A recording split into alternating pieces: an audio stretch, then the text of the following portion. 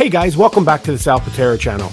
Now, yesterday we talked about the brand new Carnival Mardi Gras and how it's powered by liquid natural gas, otherwise called LNG. I wanted to make a video to answer a lot of questions that were left in the comment on exactly what LNG is and why it's beneficial to use it for cruise ships. I'll be back to show you right after this.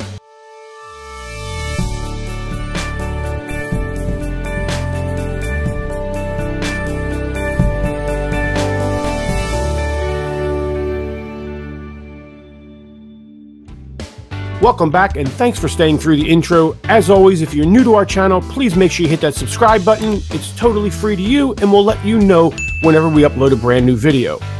Also, did you know we have a brand new cruise news text messaging system?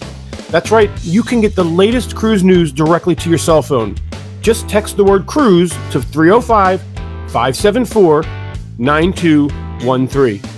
Now, Carnival's fuel partner for liquid natural gas is Shell Corporation, one of the biggest corporations in the world, so who better to tell you what LNG is and why it's beneficial than Shell themselves? The world's population is growing, and for many, living standards will continue to improve. As a result, global energy demand is expected to double by 2050 when compared to 2000. To help meet this demand, gas will form an increasingly important role. Natural gas is plentiful, and it's the cleanest burning fossil fuel.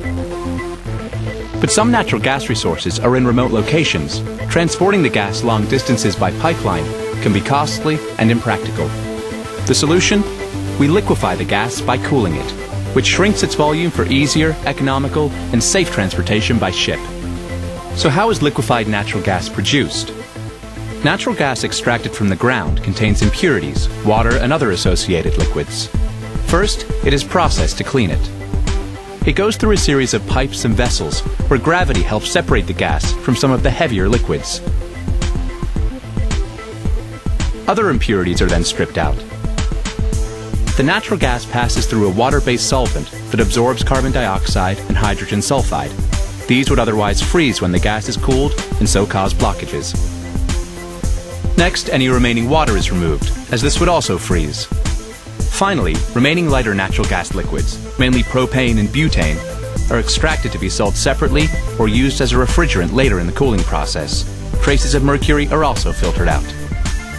Now the purified natural gas, methane with some ethane, is ready to be liquefied. This happens in heat exchangers. A coolant, chilled by giant refrigerators, absorbs the heat from the natural gas.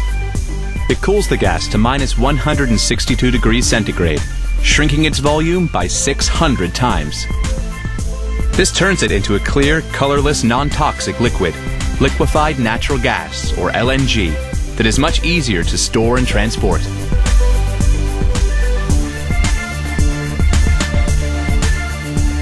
The LNG is kept in insulated tanks until it is ready for loading into a specially designed LNG ship or carrier.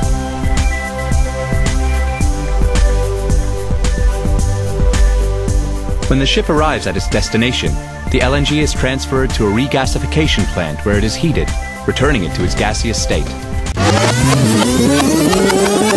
Okay, we're going to rewind right here because at this point, this is where it is going to be sent to the cruise ship, and the cruise ship is actually going to receive it still as a liquid state in their tanks and use the liquid natural gas on board. It's not going to be sent back to a gas. So that is LNG and how it's going to be used on the brand new Carnival Mardi Gras for everything from propulsion to lights to the boat roller coaster and swimming pool pumps. Everything you can imagine is going to be running cleaner on LNG. So that's it for today. Once again, guys, if you're new to our channel, click that subscribe button, click the little bell notification. That way YouTube will let you know whenever we upload a brand new video. And don't forget to send me that word cruise to 305 574 9213. See you guys very soon, hopefully up on a Lido deck.